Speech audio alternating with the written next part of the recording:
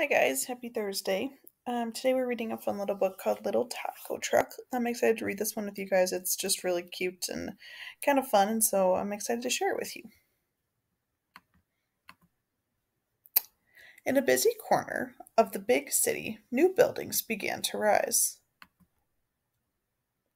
And each day, Little Taco Truck loved serving up tasty tacos to the hungry workers on Union Street. But one day, when Little Taco Truck arrived, he was surprised to see another truck parked in his spot. Hola, Miss Fall. Fall. Little Taco Truck tried to send out the word on the side of the other truck. Falafel, she said, smiling. Are you lost? he asked. Oh, no, Miss Falafel said. I'm here to serve delicious falafel sandwiches. The smell of her fresh baked pita bread and crunchy chickpea fritters floated through the air. Little taco truck's engine rumbled. He knew he should share his street. But what if people love falafel more than tacos? he worried. He secretly hoped Miss Falafel would find a street of her own the next day. But the next day, Miss Falafel was parked in his space again and she had brought friends. Taco Truck crept down the street looking for a place to park.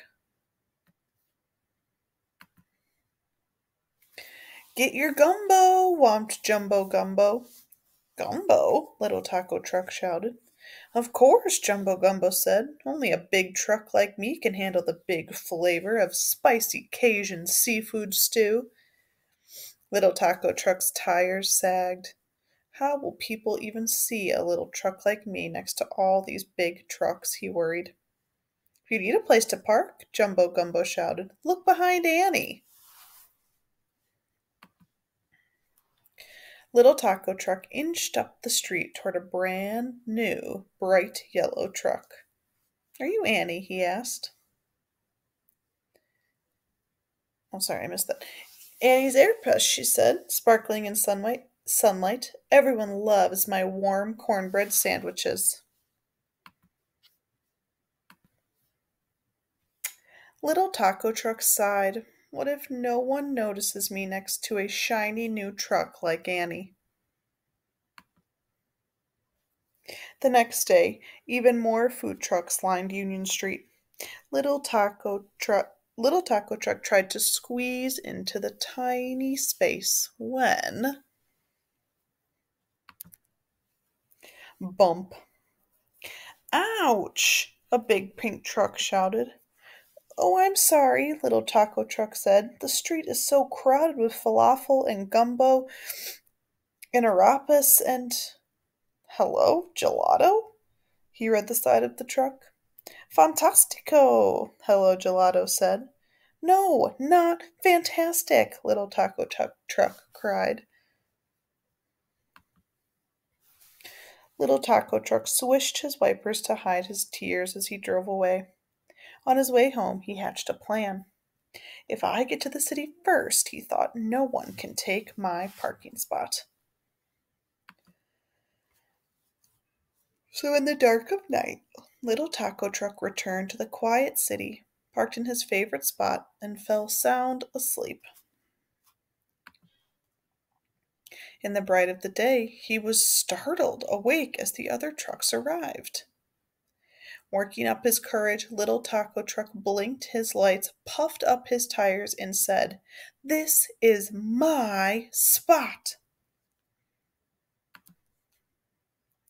I'm sorry we didn't make room for you yesterday, little taco truck, said Miss Falafel. Me too, said Annie. We can all fit if we squeeze. I can move my tables onto the sidewalk. And I can move my signs out of the way, Jumbo Gumbo shouted. Hello Gelato cheered when he arrived. You found the perfect spot. I did, little taco truck happily tooted his horn. It was right here all along. And when Oodles of Noodles arrived the next day, they made room for her too. So I like the end of this because they have a little glossary and it tells you about each of the little foods. Um, I'd actually never heard of this arepa before. So it's a flat cake made of ground corn. It's popular in Colombia, but it really represents a lot of different um, cultures and dishes. So I thought that was pretty cool. Um, so I thought that was a cute book. I just think it has a good message of, you know, um, problem solving, right? Of, of not giving up on the things that you want and, and working through them, but also um, compromising with other people, right? He didn't have to be the only truck there, but letting other people in.